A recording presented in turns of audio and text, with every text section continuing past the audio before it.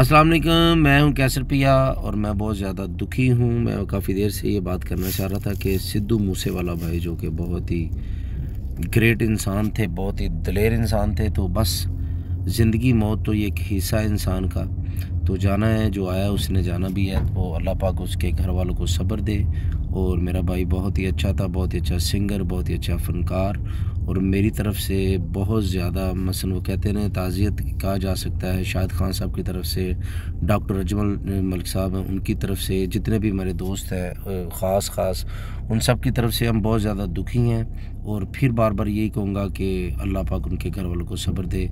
जवान जो बच्चा था, जवान औलाद है, उसका दुख बहुत ज़्यादा है। मौत का दुख तो होता ही है, परेशानी तो होती है, लेकिन इसका बहुत ही ज़्यादा हुआ।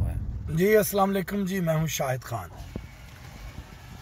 सिद्धू मूसेवाला, जो हमारे बहुत अच्छे सिंगर थे, फनकार थे, उनका एकदम से कत्ल कर दिया गया। इस पर पूरी दुनिया के जो पंजाबी समझने और सुनने वाले लोग हैं, और जो उर्दू और पंजाबी समझते हैं, बहुत दुख हुआ उन्हें। तो फ़नकार की कोई सरहद नहीं होती।